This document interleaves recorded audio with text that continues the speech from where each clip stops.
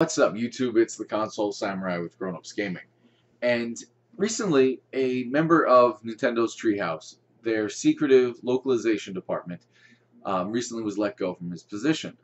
On August 3rd, he appeared on, I believe it was called the Gamer, or Part-Time Gamer podcast, where he spoke about localization. And he spoke about games such as the ones from Project Rainfall. But he didn't reveal any new games. He didn't reveal any trade secrets. So it's kind of hard to imagine why he lost his position. Now, as I, as I mentioned, he did speak about Project Rainfall, and for those of you who don't know what Project Rainfall is, um, Project Rainfall was a grassroots movement to have three titles localized from Japan. All three were Wii titles, and they looked really good. And you know, the two I played actually were pretty good. But um, the three titles were Xenoblade Chronicles, Pandora's Tower, and um, The Last Story which I played two of them. I didn't play all three. I played two of them, and they're actually decent.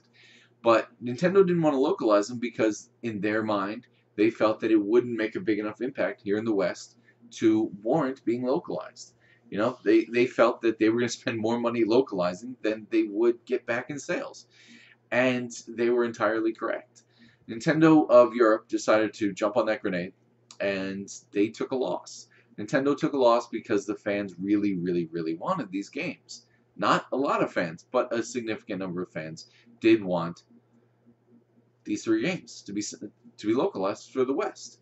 And the low numbers of the fans who actually wanted it were shown in the fact that they took a loss. So Nintendo was right in that.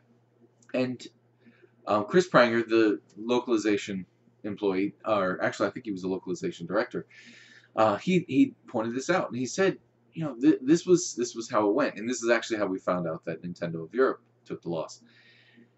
But he said, you know, no fan wants to hear that. He didn't use the word insignificant, but he said that nobody, no fan wants to hear that their fan base is not significant enough to warrant a localization of a franchise or a game that they want. And we're not talking about games like Zelda or uh, Mario or Metroid or any of those or you know, he, he was talking about the smaller titles, the ones that don't really make an impact. And he also talked about how, um, uh, not Iwata, Sakurai, the guy who does uh, Smash Brothers, how dedicated he can be.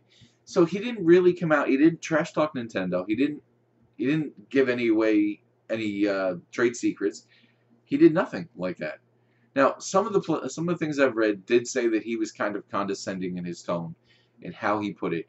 But a lot of places, a lot of the sources I read actually say that he was very plain speaking. You know, so it's really, it kind of really, I think, based, it's based kind of on your perception. But really, honestly, there was, in my mind, really no reason for him to have lost his position.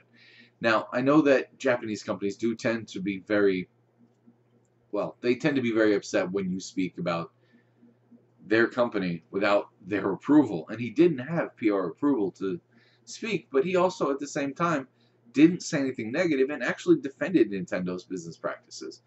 So I think it's very strange that they actually fired him. And I think it's also kind of sad because he said in an interview that this was his dream job. He had worked all his life for this, and now it's gone. Truthfully, localization is localization. So even though he has lost that position, he's not out of a job. He can still go to anime, or he can still go to PlayStation, or he can flip the script. He can go to Microsoft and localize American or English games to Japanese. But I think he does have some options. But still, it does suck that you know he did lose his job. But tell me what you think in the comments down below. Do you think that it was really justified that he loses his job? You know, or do you think that maybe he should have been reprimanded? And maybe that was. You know, we don't know.